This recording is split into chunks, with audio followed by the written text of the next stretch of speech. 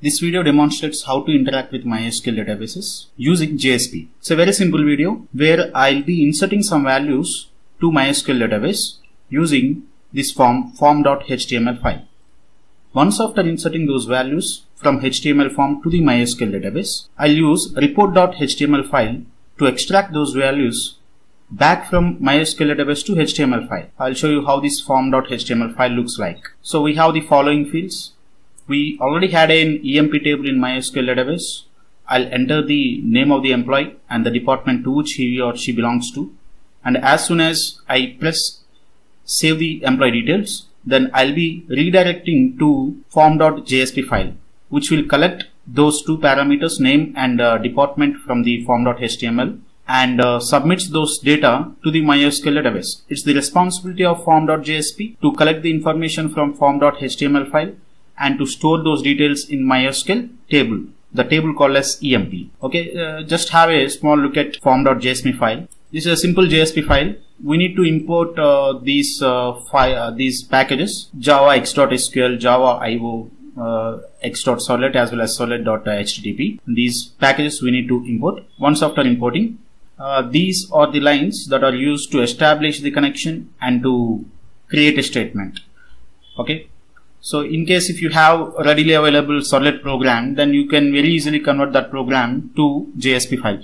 And in case if you do not have any program, you can simply write this code. Uh, these lines or use it to establish the connection and to create a statement. So I'm using a database called as test in which uh, expecting that uh, EMP table is already available. I'm inserting these two values ename and uh, DEPT okay whatever the values that I get from HTML I am storing in variables called as X and Y like ename and DEPT okay these ename and DEPT are the names that I have given for form fields in the HTML file. Once after getting values to uh, in X and Y respectively I'll uh, store those values in EMP table. The statement will successfully store the values into EMP table. And then we'll execute that SQL query. Once after record has been successfully uh, inserted into the table in case if I wanted to insert the second record I'm I'm having a request dispatcher here.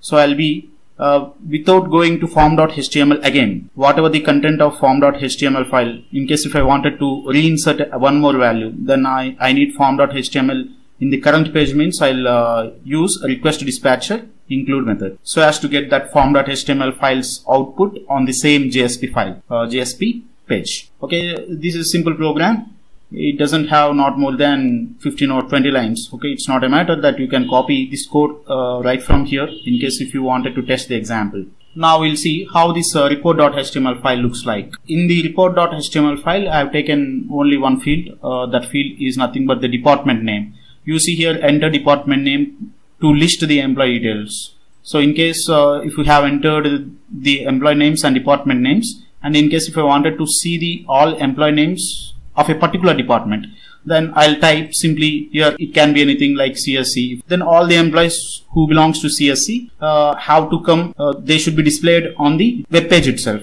Okay it's a simple SQL statement. Uh, select a start from EMP where DEPT name equals to CSC it's a simple SQL statement that uh, have to be executed. Okay that that should be executed when this button is pressed.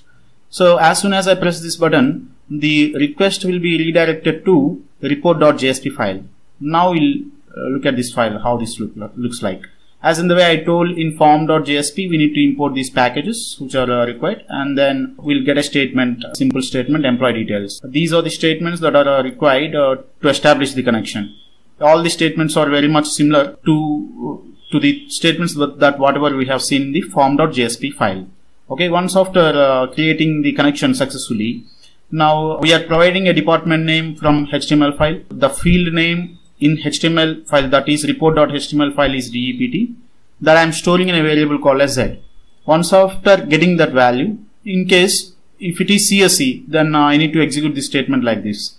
Select star from EMP where DEPT equals to Z because Z has the value of uh, some department name that is provided during uh, entering the value in the report.html file. And then I'll I have used a result set in case if you if you are aware of uh, row set objects you can also use row set object. Using result set uh, I am executing this query SQL. So mm, the result will be coming to uh, the result set rs. Okay, using a simple iterator while iterator in case there can be any number of employees in a particular department using this while statement as as long as there exists a row I am printing those values okay? What are the values that I am going I know very well that a EMP table has only two columns. One is uh, name and other is DEPT according to the number of value uh, number of columns I have I am extracting those details. I know that there are only two columns so I've used two variables here ename and DEPT so every time I extract one row of information successfully I am displaying it on the web page itself. So this page is also very much similar to form.jsp. It is uh, report.jsp. It is very much similar to form.jsp. The only thing is that in form.jsp we have inserted values. Here we are extracting the values. Nothing more than that. Very simple. Okay. Right. So very simple. Four files we have. One is form.html, report.html, form.jsp, report.jsp. Now let's see the execution. Before I show you the execution, you should know one thing that uh, in order to interact with MySQL database, MySQL-connector.jar file should be available in your Tomcat. For an example, uh, this is my Tomcat directory in my machine, Apache Tomcat. Okay, in library, this file, MySQL-connector.jar file. The version can be anything, but this jar file should be available in uh, Apache Tomcat lib okay because during execution JSP file or servlet file will have to be linked to this uh, jar file because all those connections whatever we have used which are purely based on MySQL database. Class.forName we have given some URL in both the cases of form.jsp and uh, report.jsp. That class name is available in this jar file only. So all drivers that are required to get successful connection are based on this jar file. So make sure your Tomcat library has this connector file dot uh, connector.jar file and also you need to set the class path because uh, if you do a simple copy your computer cannot understand uh, the change that you have made. So you need to set the class path that where, where exactly that file is available this jar file is available. Okay in case of Windows go to my computer properties environment variables set the class path to this particular file and in case of Ubuntu and you can edit the uh, environment file which is available in etc there you can uh, set the class path. Okay in case if you do not know how to set class paths and uh, what all I am talking about then you can watch the watch my previous videos that are available which are based on Servlet, JDBC and everything. Okay you can watch those things in which I have given a clear explanation about how to set class paths what are these jar files how to set them in case of Ubuntu or in case of uh, Windows I've discussed them. Please follow those videos and uh, instructions. Right now our application is ready to deploy that uh, we I, I already had uh, this JSP JDBC. In this folder I have these uh, four files. As this is not a servlet, it's a complete application is based on uh, uh, JSP. we can directly, I mean we need not to, there, there is no headache of creating web.xml file or WEB-INF folder because it's it's JSP, it's a text file when compared to servlet it is uh, very simple to deploy. Okay? Just uh, you copy this folder. And in case tomcat is available in your own machine then go to web apps folder and there you paste it. Okay? In my case uh, jsp jdbc folder is already available. These four files i have deployed in apache tomcat. But in case apache tomcat is not available in your machine and in case if you wanted to connect to some other machine where apache tomcat is running then you have to create a WebArchive file. Alright, uh, now we'll see the execution. Before we see the execution, let me show you the EMP table in MySQL database. Okay, I'm using the database called as test. Okay, here uh, EMP table is already available. Select star from EMP. It's an empty set. Let me describe the data types of EMP table. Uh, I have two columns. One is name and DEPT. Okay when I enter values from HTML, uh, this table should uh, should fill with values, and uh, the same from the same table, those values can be extracted from report.jsp file. Okay. Uh, now we'll see the execution. My Tomcat is already running in localhost, so I'll directly connect to the localhost. Localhost 8080 JSP JDBC form.html. Okay, JSP JDBC is a folder name. Right here we got uh, enter EMP details to store in the EMP table in MySQL database. Right, let's enter some values. Sachin, CSC department.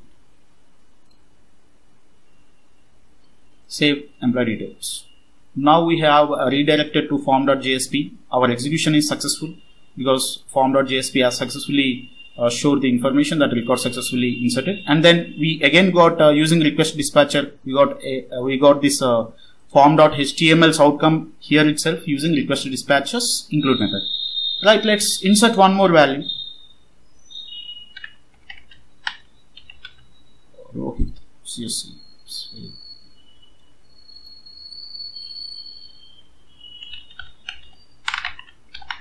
some other department called SIT okay now I have inserted three records into the EMP table. Now let's check whether these records are uh, successfully came to the table, came to the table or not. Okay, so let's start. Right. Information is successfully inserted into the table. Now let's see reporting. Report.html. Here I'll enter some department name enter department name to list the employee details. I'll uh, enter some department name. Let the department name be CSC okay? So before I press you see the things that uh, uh, there are two person who belongs to CSC Sachin and Rohit. Let's see whether we will be able to see the same information. Or not. right. Sachin and CSC we got it. Beautiful. So it's a very simple example right? Okay. Uh, these kind of examples can be done using JSP because wherever you are using large amount of HTML than Java coding, then it's better to go with the JSP because editing is very simple. Uh, in case of Servlet, uh, if uh, Java logic is very small and if you have large amount of HTML, you should not go for Servlet programming because it's a hectic thing that you need to recompile your program every time because Servlet is a Java class file. Thank you. Bye. If you like my videos and if you want me to continue on YouTube channel, then please subscribe and switch on the notification bell.